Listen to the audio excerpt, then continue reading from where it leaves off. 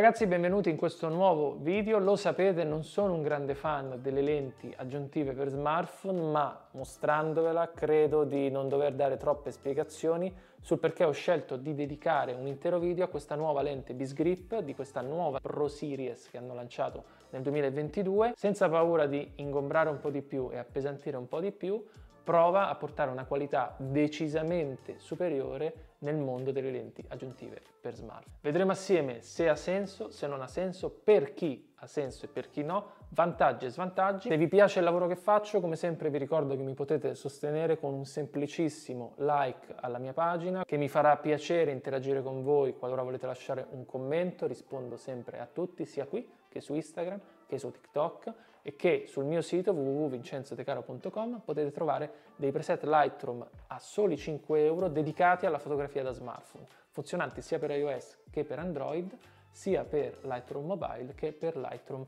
Desktop. Quindi dopo aver visto il video correte a dare un'occhiata, vi lascio i link qui sotto. Veniamo a Beast Grip e a questa nuova lente che hanno lanciato sul mercato. Innanzitutto partiamo dall'azienda. Bisgrip insieme forse a Moment, seppur differente come azienda, è uno dei punti di riferimento in assoluto per il mondo della fotografia e del filmmaking da smartphone, specialmente negli Stati Uniti. È un'azienda americana e negli Stati Uniti il mercato Ehm, sotto questo punto di vista mh, è molto molto più ampio. È un'azienda tra l'altro che nasce in maniera eh, simpatica, con una storia eh, carina, perché loro lanciano una campagna Kickstarter che effettivamente va evidentemente a colmare un vuoto di mercato legato al mondo del grip per gli smartphone, non per le macchine da presa, chiaramente, quindi cage, accessoristica in generale. E la cosa carina è che lanciano una campagna e dopo 24-48 ore viene già interamente finanziata e questo succede per ben tre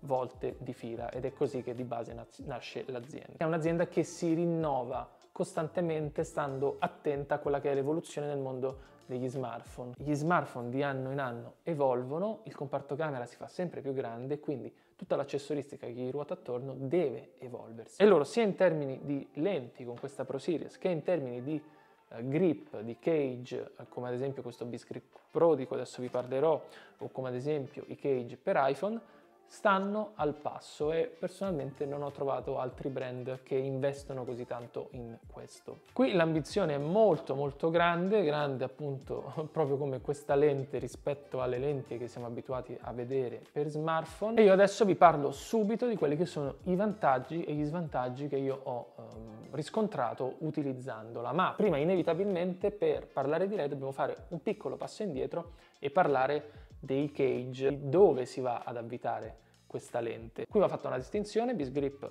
ha pensato, devo dire, a tutto perché abbiamo una linea di cage pensata per iPhone e una linea di cage pensata per Android, ma in realtà per tutti gli smartphone, perché questo, il Beast Grip Pro, è un cage universale che si è rinnovato proprio quest'anno, tornando al discorso dell'innovazione, per allinearsi con uh, i comparti camera molto più grandi dei, dei telefoni del 2022-2023 ed è veramente funzionante con qualsiasi telefono. Possiamo andare alla, ad allineare in tutti i modi l'attacco dedicato alle lenti, possiamo andare a rimuoverlo per utilizzarlo come semplice handle, questo è comodissimo, e non ha problemi di allineamento legati a, eh, io adesso ho uno Xiaomi 13 Pro che è bello cicciotto come comparto camera, eh, legati a, appunto al posizionamento dello smartphone. Questo è fondamentale perché se lo smartphone dovesse stare leggermente storto rispetto all'asse della lente o del filtro, andremo incontro a riflessi e strane effettistiche in termini di deformazione, eccetera, eccetera. Rimango quindi su di lui per raccontarvi altri vantaggi suoi. Eh, questo attacco lenti è ehm, rimovibile, è un attacco da 37 mm, ma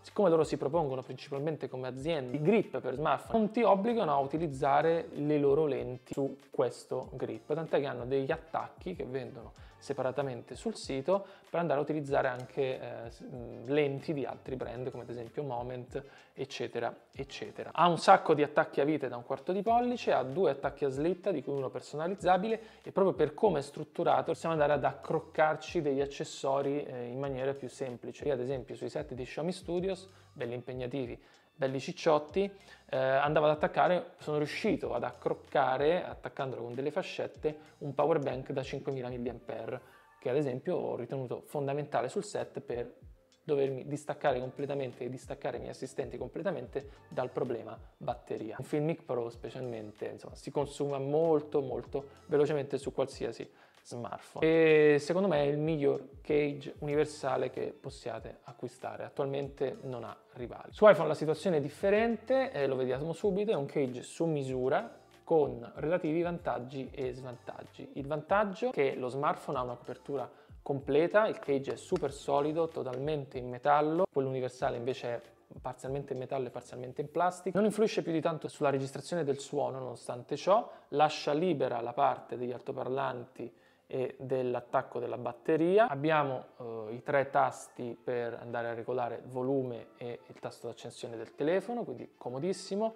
Eh, sul display si riesce a lavorare benissimo. È super sicuro, ma su questo anche, mm, anche la versione universale devo dire che eh, non dà problemi, nel senso che guardate io adesso ho tolto la copertura frontale, quindi lo smartphone davanti è nudo, non fatelo a casa ma non casca manco a pagarlo. Anche qui abbiamo una sorta di torretta intercambiabile, in questo caso abbiamo sia l'attacco da 37 mm come sul cage principale, 37 mm che ovviamente è l'attacco a vite dedicato a queste lenti Pro Series che hanno proprio un diametro di 37 mm per andare ad avvitarsi. Attacco che in base a come viene montato può lavorare sul sensore principale, chiaramente è allineato perfettamente essendo su misura, o basta ruotarlo e va a lavorare sul sensore um, 3x nel momento in cui dobbiamo andare a posizionare il nostro teleobiettivo sulla lente teleobiettivo già esistente dello smartphone, cosa che secondo me non ha molto senso. Che lui ha un sacco di attacchi a, vita, a vite da un quarto di pollice, 10 se non erro, e un attacco a slitta. Un bel vantaggio che lui ha rispetto a quello universale è però la possibilità appunto di levare questa torretta.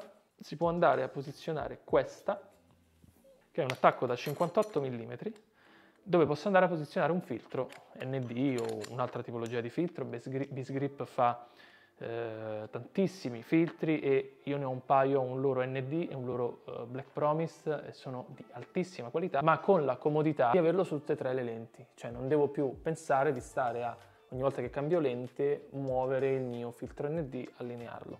Cosa che invece qui, dove abbiamo soltanto questo attacco da 37 a disposizione, dovrò fare. Ogni volta che passo dal teleobiettivo al grandangolo al super grandangolo devo andare a riposizionare qua l'attacco. Bene, veniamo adesso ai vantaggi, le cose positive di questa lente. La prima cosa per cui devo fare veramente un applauso a Grip è la scelta della focale o in questo caso del fattore di eh, crop, no? di questo 1,7 eh, per. Questo perché andandolo ad applicare sul sensore principale degli smartphone che tendenzialmente è eh, di solito eh, accostato a una focale di 23 o 24 mm, quindi una focale abbastanza larga, ci fa ottenere un, una lunghezza focale di circa 40 mm. Questo è un taglio secondo me bellissimo, molto interessante perché è ancora incredibilmente versatile nel senso che è tutto sommato abbastanza ampio, siamo sulla soglia tra un grandangolo e un normale, più o meno, quindi ancora ci permette con un po' di adattamento di fare dei campi medio-medio larghi, ma ci regala tutt'altra passa su quelli che sono i campi medi, medi stretti o stretti in termini proprio di primo piano, ritratti. Migliorano le proporzioni della nostra immagine, migliorano quindi le proporzioni anche di un viso che andiamo a riprendere eh, da vicino, è ancora incredibilmente versatile in termini di usabilità anche a mano libera, ci distacca quel giusto dalla tipica accoppiata, dalla tipica resa da smartphone fatta da questa accoppiata di sensorino da ormai più o meno un pollice e focale 23 mm che fa subito eh, smartphone. È un taglio che ho veramente apprezzato, una scelta anche relativamente coraggiosa perché di solito, specialmente nel caso di queste lenti, per giustificarne un po' l'acquisto si tende a spingere su, sul, sul, fattore di, di, crop, quindi di solito sono delle 2x, delle 3x addirittura, in modo che ci sia uno stacco focale veramente ampio rispetto a quello del sensore principale. Qui secondo me invece hanno fatto una scelta intelligentissima anche perché spingendosi di meno sotto questo punto di vista hanno potuto secondo me lavorare e puntare ad una qualità eh, maggiore. Chiaramente più la focale si allunga più possiamo andare incontro a dei problemi perché il numero di vetri all'interno dell'ottica è superiore. Altro vantaggio che ho riscontrato su questa lente è che abbiamo una perdita di sensibilità minima, ovvero ogni volta che andiamo a posizionare chiaramente un vetro davanti alle nostre lenti, eh, seppur in maniera impercettibile, eh, si va a perdere un pochettino di sensibilità perché la luce deve passare da un vetro in più e quindi il sensore in teoria cattura un po' meno luce. Questo chiaramente eh, dipende dalla qualità del vetro che andiamo a mettere di fronte alla lente, potrebbe benissimo essere così impercettibile da eh, potersi calcolare in zero e in questo caso vi dico forse non è proprio zero ma è veramente impercettibile e ho fatto anche dei test guardando gli strumenti di DaVinci Resolve, guardando un waveform monitor e c'è una perdita di eh, segnale veramente, veramente irrisoria. E fidatevi che è un elemento importantissimo, specialmente se parliamo di smartphone dove ecco, la sensibilità non è proprio il punto forte del sistema ottico che abbiamo in mano. L'altro elemento da considerare quando posizioniamo un nuovo vetro davanti al sensore è chiaramente la perdita o il guadagno di dettaglio nella nostra immagine. Ve ne ho parlato più volte, la lente è l'elemento fondamentale per far sì che la nostra immagine abbia una buona riproduzione delle texture, un buon dettaglio complessivo che non è mai da confondersi con la più eh, semplice risoluzione del sensore in sé. Sono due cose differenti, la lente è importantissima, se noi prendiamo un sensore di una cinepresa incredibile da 40.000 dollari e gli mettiamo davanti un pezzo di vetro che ha un fondo di bottiglia, disintegriamo la nostra immagine. La perdita di dettaglio è eh, irrisori, i vetri sono molto molto definiti, abbiamo un po' di perdita di definizione ai bordi, la lente influisce anche sui micro contrasti, quindi un pochettino può influire anche sui toni a livello di colore della nostra immagine. E l'impressione che ho avuto è che posizionando lei davanti all'immagine eh, tendenzialmente abbiamo un'immagine un po' più calda. In generale l'immagine è un po' più morbida, ma comunque il dettaglio della texture è molto buono e vi dirò, visto che parliamo di smartphone, dove dando per scontato di lavorare con le app stock dei vari smartphone, si tende ad avere un software che pompa in maniera pazzesca la nitidezza pure troppo e la saturazione pure troppo, a me è una cosa uh, giustamente eh, che funziona a livello commerciale ma che personalmente trovo odiosa, nel momento in cui mettendo questa davanti ho una resa un pochettino più eh, morbida, personalmente non mi dispiace per niente, anzi ve lo piazzo proprio tra i vantaggi. L'altro vantaggio è che ovviamente non influisce sulla gamma dinamica del nostro sensore e quindi ritorno all'inizio, i sensori principali dei nostri smartphone sono 4-5 anni avanti rispetto ai sensori che vengono utilizzati in questo caso per i teleobiettivi. C'è una differenza veramente abissale ragazzi, per quanto il software sul teleobiettivo eh, provi a fare miracoli e a livello fotografico quest'anno abbiamo visto delle cose pazzesche anche perché la qualità delle lenti è aumentata, ok? A livello video ancora si soffre terribilmente e nonostante i miracoli del software appunto non appena vedete le immagini al PC sembra di eh, guardare due camere diverse. Il sensore del teleobiettivo è veramente un giocattolo sugli smartphone. Sul sensore principale invece non è così e la possibilità quindi di avere una focale più lunga utilizzando quel sensore porta dei vantaggi pazzeschi. Non c'è minimamente paragone tra creare un'immagine con questa lente davanti alla camera 1x, al sensore principale, piuttosto che al girare con una camera 2x o 3x di uno smartphone. Non solo per la qualità del sensore, ma anche in termini di funzioni. Molti smartphone sulla camera 1x, sul sensore principale, hanno molte più funzioni, non lo so, 60 fps, piuttosto che l'8K, piuttosto che la modalità log, ad esempio, che sullo Xiaomi 13 Pro funziona solo sulla camera 1x, piuttosto che il Dolby Vision, che anche lì funziona solo sulla camera 1x, quindi hai anche tutto un supporto software molto più alto. Un altro vantaggio che mi sento di comunque nominare è che tutto sommato è relativamente piccola. È una lente che pesa tra i 2 e i 300 grammi, eh, viene fornita nel suo sacchettino con i suoi tappi eh, back frontale. Sgrip in questo ha una cura pazzesca, lo, lo, vedrete se mai acquisterete un loro accessorio e tutto sommato appunto non si può dire che sia un oggetto ingombrante. Mo, non voglio dire che è una roba che vi portate in tasca, ma proprio per un fatto di delicatezza, però in qualsiasi piccola tracolla, in qualsiasi zaino, ehm, in qualsiasi tipologia di viaggio e quindi di zaino a cui associate questo viaggio, secondo me lei ci può stare, ecco. Ultimo vantaggio, ma questo è molto scontato visto l'utenza e il tipo di utilizzo per cui si propone, ha una ghiera frontale in cui possiamo andare ad avvitare dei filtri. In questo caso è una ghiera da 62 mm a cui possiamo associare gli ottimi filtri Grip. Io ho un loro ND e un loro Black Promised. Magari a loro dedicherò un video a parte. Non ho dei filtri eh, adatti in termini di diametro, nel senso che a me hanno inviato dei filtri da 58 mm e questo è un diametro 62. Questo vuol dire che devo applicare prima un adattatore, ma questo vuol dire che la grandezza della mia lente va ad aumentare e quindi ho un rischio vignettatura molto molto alto. Questa cosa credo sia veramente, eh, visto che questa è una serie nuova, in fase di aggiornamento ed usciranno dei filtri ad hoc. Nessuno ci vieta di comprare dei filtri, anche di un altro brand, da applicare davanti alla nostra lente. Un'ultima cosa che vi volevo dire, non saprei se posizionerla tra i vantaggi, ma ho notato l'accortezza, come è presente su molte lenti e anche professionali, di avere la possibilità di andare ad aprirla, cioè ci sono due piccolissimi eh, intagli qui eh, dove di solito si può andare tramite degli strumenti a svitare l'anello che blocca la prima lente ed eventualmente aprirla per pulirla in caso di polvere che va dentro, muffe, eccetera. Non l'ho provata così a fondo da dirvi se...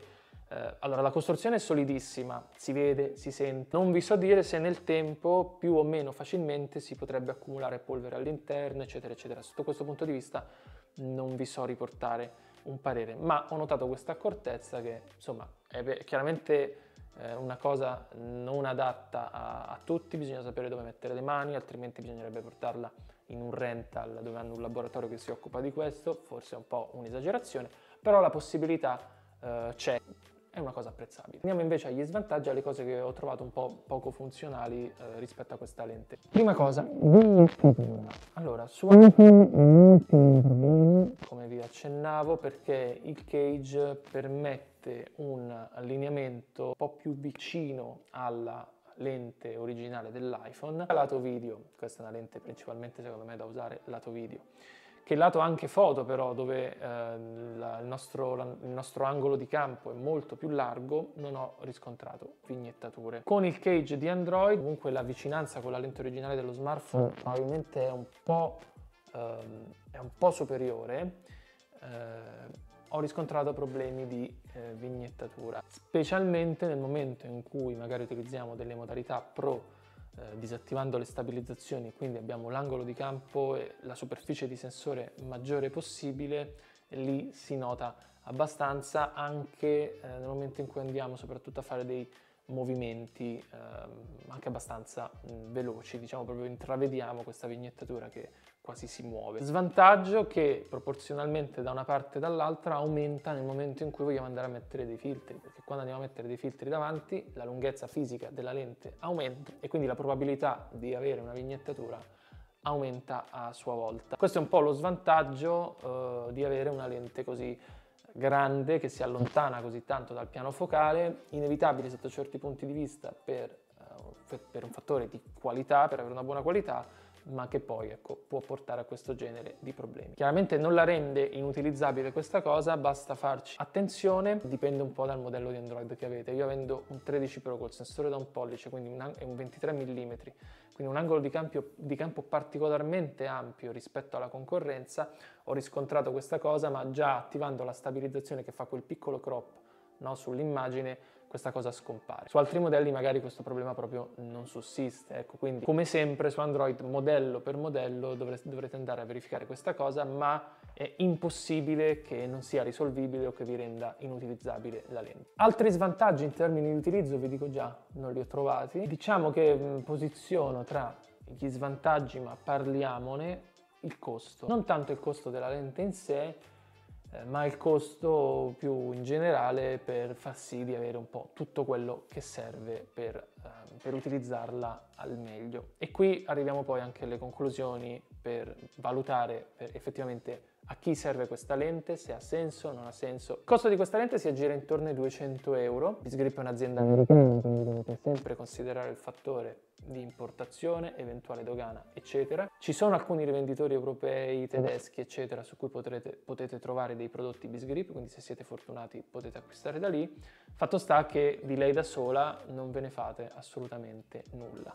I cage hanno un costo che va più o meno dai 130 ai 140 dollari per il Bisgrip Pro il vantaggio di comprarlo una volta e poi funziona su tutti gli smartphone. Per iOS lo svantaggio di, se cambiate iPhone ogni anno, di doverlo cambiare ogni anno, ma poi avete visto hanno dei pro e dei contro differenti anche in termini proprio di comodità di utilizzo. Poi però tutta l'accessoristica in più si paga, ad esempio questo attacco comodissimo per andare a prendere i filtri, che forse è il primo acquisto che farei se, se siete utenti iPhone in questo caso, no? perché per uh, portare la nostra ripresa a un livello professionale la prima cosa che ci serve, parlando di ripresa in esterno, è un filtro ND ancora più che una lente aggiuntiva, no? quindi eh, forse questo è l'acquisto madre, ecco questo attacco ha un costo in più. Filtri stessi hanno un costo in più che non è proprio piccolo rispetto alla concorrenza, sempre perché Bisgrip punta sulla qualità. È un brand, ragazzi, che punta sulla qualità perché nel mercato suo di riferimento viene utilizzato dai professionisti principalmente. Quindi ecco, per iniziare, tra virgolette, dignitosamente ad approcciarvi a questo brand, se vi interessa ciò che avete visto, secondo me l'investimento iniziale minimo è intorno ai 400 euro. E quindi, per chi è pensata, può fare al caso vostro, cosa ne penso io? Mi ripeto, il mondo delle lenti aggiuntive per smartphone non è un mondo che mi fa impazzire per tutta una serie di ragioni. Però le uniche lenti che effettivamente possono avere senso in questo mercato sono due. Una è la lente anamorfica, infatti ve l'ho già portata sul canale e questo perché può restituirci una tipologia di effetto e sfruttare il sensore in un modo che altrimenti non potremmo sfruttare. Quindi ha tutta una serie di motivazioni per cui può avere senso pur essendo una lente molto eh, di nicchia. L'altra tipologia di lente è proprio un teleobiettivo, questo perché il divario tra sensore principale e il sensore dedicato ai teleobiettivi nel mondo degli smartphone è ancora non grande, abissale. Un teleobiettivo di qualità da applicare davanti al sensore principale fa tantissima differenza. Qui abbiamo un'azienda che merita molta fiducia, che punta sulla qualità, che si rinnova costantemente, quindi che in un certo qual senso non vi lascia soli nel momento in cui decidete di fare l'investimento se ne vale la pena o no lo dovete capire voi come sempre. Se siete dei professionisti che utilizzano anche lo smartphone per lavoro, che sia in, per, a livello giornalistico, che sia in termini di youtuber, che sia su set documentaristici, eh, che sia perché fate ritrattistica a livello fotografico, eccetera, eccetera, e spesso vi capita di utilizzare lo smartphone, ne vale la pena appunto. Cioè, è un acquisto secondo me quasi obbligato perché se lo fate per lavoro ecco lì che un investimento di 400 euro su uno smartphone probabilmente ormai da più di 1000 euro è una proporzione che ci sta a maggior ragione se appunto lo fate per lavoro, quindi è un investimento sulla vostra attività. Se siete degli appassionati può aver senso, se eh, diciamo che il rischio più grande quando si comprano questi accessori è che si utilizzino per un paio di settimane e poi finiscano nel cassetto. Ecco, valutate voi se siete eh, degli utenti che ecco, all'occasione giusta, perché è una lente in quel caso da utilizzare non sempre, ma all'occasione giusta, quindi un viaggio, eh, una ricorrenza, anche fosse soltanto in famiglia, insomma se vi dilettate in un contesto o in un altro a fare dei video, ci tenete, siete appassionati di questo settore, può benissimo avere senso, certo è un investimento bello tosto, quindi valutate bene. Io vi ho detto la mia, in termini qualitativi non ci sono dubbi, quindi poi se ne valga la pena o no lo dovete capire voi in base al vostro utilizzo. Per questo video è tutto, spero come sempre che vi sia stato utile e se vi è stato utile mi raccomando supportatemi con un commento, vi rispondo sempre, qualsiasi dubbio che avete riguardo a questa lente Bisgrip eh, chiedetemelo, non ci sono problemi e vi ricordo che mi potete seguire anche su Instagram e su TikTok dove trovate dei contenuti differenti, piccoli tutorial legati alla smartphone photography, eccetera, eccetera, eccetera. E poi sul mio sito vincenzodecaro.com trovate anche, piccola chicca, dei preset Lightroom dedicati alla fotografia da smartphone, funzionanti sia su iOS che su Android, sia su Lightroom Mobile che su Lightroom Desktop e sono ancora in offerta a 5 euro. Se odiate fare editing ma volete portare il look delle vostre foto a un livello superiore, grazie a loro con un semplice clic lo potete fare. Per questo video è tutto e noi ci vediamo alla prossima.